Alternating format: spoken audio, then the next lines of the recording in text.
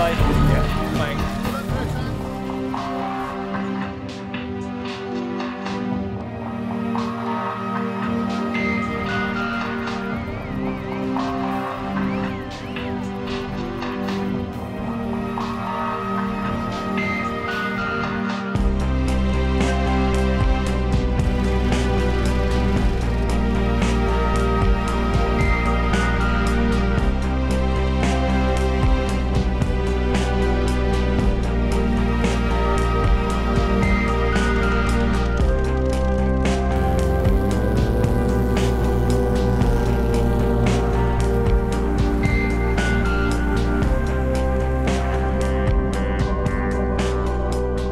But in the last couple of years, uh, there were maybe like a second generation starting to fly balloon and actually in the Swiss national balloon team I'm the second oldest one.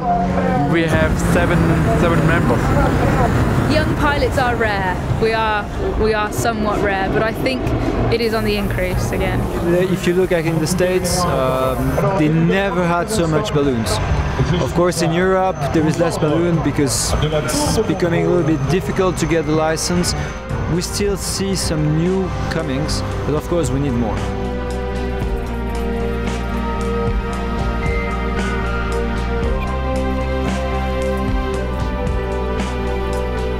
Thank you for kilometers per hour.